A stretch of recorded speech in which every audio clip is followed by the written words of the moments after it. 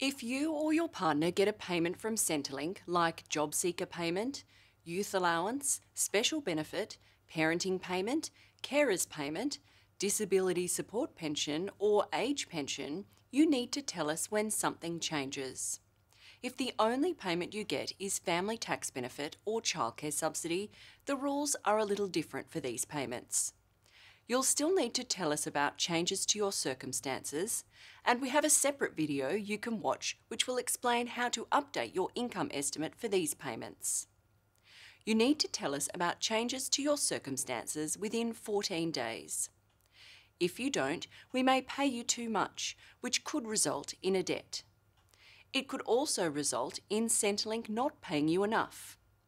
Examples of changes you need to tell us about include your personal and contact details or bank details, your relationship status, for example, if you become partnered or separated, the care arrangements for anyone in your care, including your children, your accommodation details, including changes to your address, who you live with, or how much rent you pay, your Australian visa or residence status, your or your partner's work, including starting or stopping work, and changes to your work hours or pay, your or your partner's income or assets, including if you get a lump sum payment, if you're leaving the country temporarily or permanently.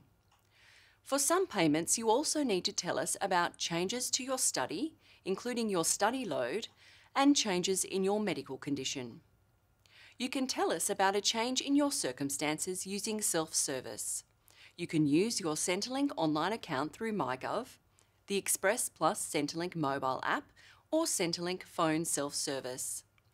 If you can't use the self-service option, you can call us to tell us about the changes. You can find more information at servicesaustralia.gov.au.